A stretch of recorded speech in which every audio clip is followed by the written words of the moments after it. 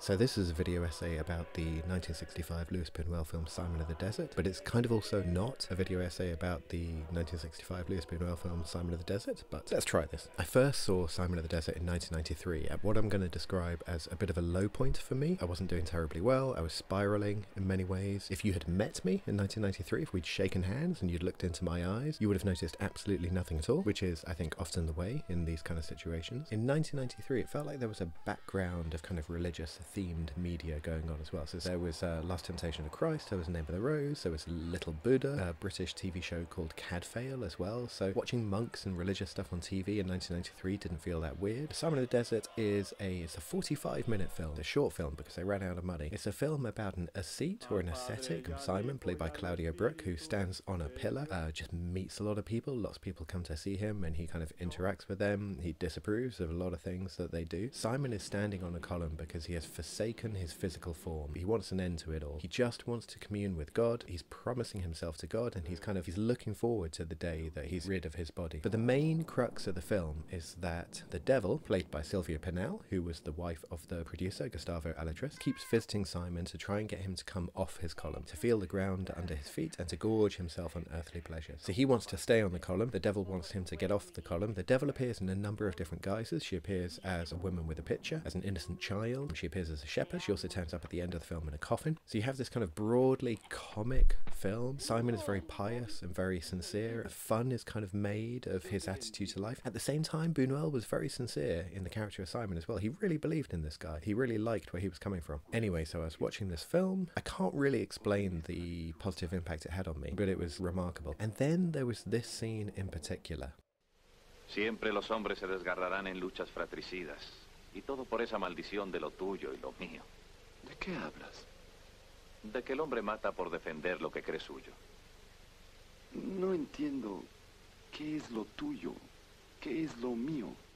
That might look like nothing, but what was important to me was the fact that when I saw Simon of the Desert, I was kind of entertaining ideas on how to live a good life and how to be a good person. And I was entertaining ideas which Simon of the Desert then started showing me. So, 1993, I was feeling quite alone. I was cutting myself off from people a little bit. I was just spinning ideas around in my head, just not really in a good place. Watching Simon of the Desert, it felt like I was not alone. It felt like the ideas I was entertaining were being acknowledged somewhere else. I had a similar thing years later reading a Maupassant book on a plane and thinking, my god, this is my life right now. But since then, I've kind of noticed a lot of things collapse together, not just for me, but also I think maybe for Buñuel and also other people. And that's kind of what I'd like to talk about here. In order to do that, we have to look at Buñuel's life a little bit. Buñuel was born in Calanda in Spain in the year 1900. He made friends with Salvador Dali and Federico Garcia Lorca and the three of them all moved to Paris together to become students. In Paris, Buñuel and Dali become part of the Surrealist movement, and they make their first short film, Un Chien Andalou, in 1929. Around the same time, Federico Garcia Lorca reads a book that he likes and he recommends it to Buñuel, and it's called The Golden Legend. And The Golden Legend contains a chapter about Simon Stylite, and Buñuel and Lorca have long conversations about this chapter, and Buñuel talked about how he would love to make a film about this Simon Stylite character,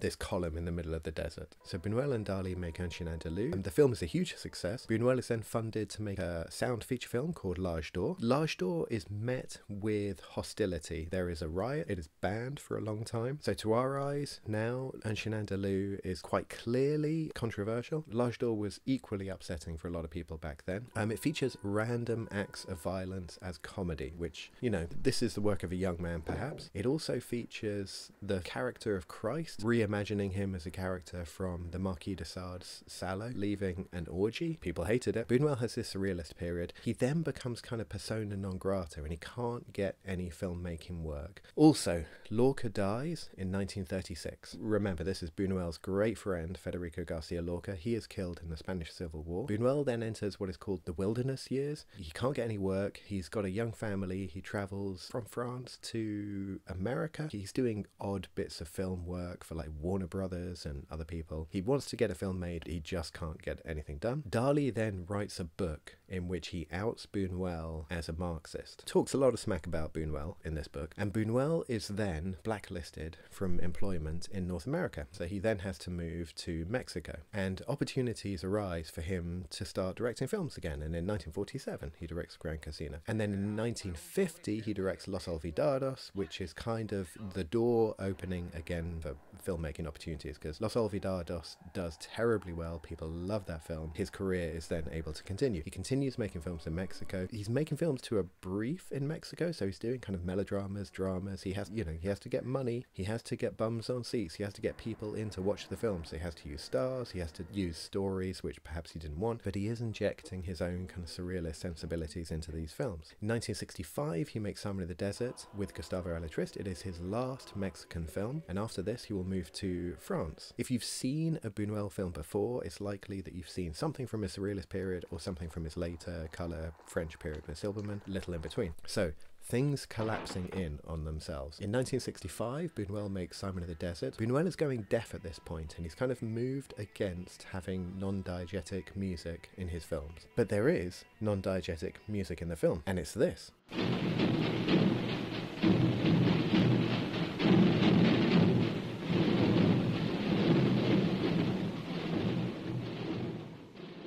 You're listening to are the drums of Calanda. Remember, Buñuel was born in Calanda. There is a festival there every year. People just play the drums over and over and over again for days and days and days. They do it until their hands bleed. The drums of Calanda had a really big influence on Buñuel. He used them twice in his film, in Simon of the Desert, and he used them in L'Age d'Or. If you're using something like drums of Calanda, you might expect to use it for something exciting. In Simon of the Desert, that's not what happens because it just gets used to illustrate Simon's mother walking past a column carrying a bundle of sticks, and then also Simon eating some lettuce and feeding half a leaf to a rabbit. In L'Age d'Or, you get far more what you would expect when someone uses drums. You get that energy from this scene. In Un Chien Andalou, there's a the famous scene where a man is looking his hand and it's filled with ants. Dali then writes that book about Buñuel, trash talking him and kind of ruining his career, making his life terribly difficult. In 1965, when Buñuel makes Simon of the Desert, he chooses to have this shot.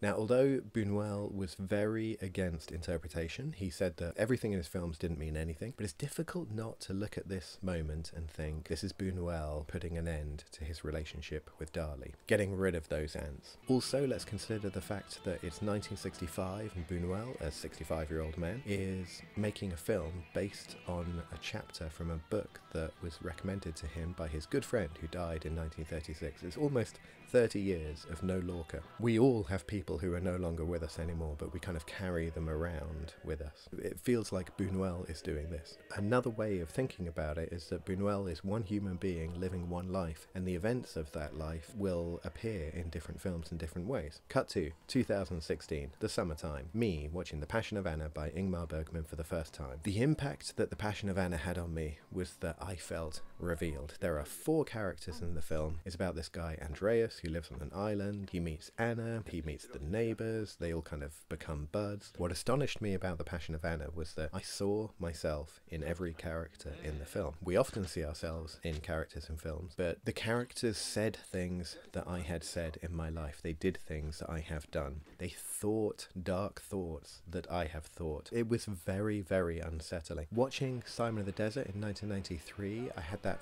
feeling of not being alone in the world. Watching The Passion of Anna in 2016, I felt revealed. I felt like it felt like my head was made of glass and my thoughts were being projected for everyone to see. Also, things collapsing together. In L'Age d'Or, Buñuel was showing us random acts of violence for comedy. In The Passion of Anna, Bergman is showing us random acts of violence as a lack of faith in humanity. Bergman, by 1969, has kind of he's lost faith in people. He sees violence as random and meaningless and able to happen at any moment. Buñuel, when he talks about violence, Buñuel actually, if you read Buñuel's autobiography, My Last Breath, My Last Sigh, whatever you want to call it, he also talks about how random acts of violence can happen at any point. Bergman and Buñuel are kind of collapsing together here. Also, Funds, 1998, the actor Vincent Gallo makes a film called Buffalo 66, and in that film he asks a question, which is how do you film four people round a table? And Vincent Gallo did it like this. You want something to drink, honey? What? Yeah, could you make me a rum and coke? What, honey? I meant, uh, can I have a ginger ale? Oh, sure, we got a ginger ale. Hold on. What's really interesting here is that Vincent Gallo will remove a person from the table as the camera kind of moves around. Not only will he remove a person, but he'll also remove all the objects of that person. So you'll notice that Billy's glass, which is in front of him here, when we cut to Billy's POV around the table, that glass is gone. And it's just a kind of a really interesting idea. Cinema as a kind of a playground for playing with ideas on how do you do things. In 1969, when Ingmar Bergman had the same question, how do you film four people around a table, he did this. All kind of fascinating things. In 1984, Alex Cox makes Repo Man, and the character of Miller says this. Suppose you're thinking about a plate of shrimp. Suddenly somebody will say like plate or shrimp or plate of shrimp out of the blue, no explanation. No point in looking for one either. It's all part of a cosmic unconsciousness. Now, you might think this is all nothing more than the lattice of coincidence, but I would encourage you to entertain the possibility that there's a kind of a human connection going on here, that the, the thoughts of all these different people over all these different time periods are kind of coming together because there is one thing at the center of it, which is us and being human, living a life, making decisions, and thinking about things. So yeah, that's kind of what I learned from Simon of the Desert. I kind of got two lessons from it. Number one, it came to me at a crucial time. The film appeared like a kind of a ray of light through the darkness at a time when things were not great for me. I felt less alone in the universe, which was, you know, who doesn't want that? Also, as my life has gone on, it has been part of a series of sticks which have kind of fallen together. 1993 falls into 1998, which falls into 2016. The decisions of Vincent Gallo fall into the decisions of Ingmar Bergman fall into the decisions of Luis Buñuel. Perhaps one way of looking at this is that if you're open to seeing these things, if you're open to letting a film kind of come into your life and touch you in ways that might be positive and in ways which might make you feel vulnerable, I would applaud this.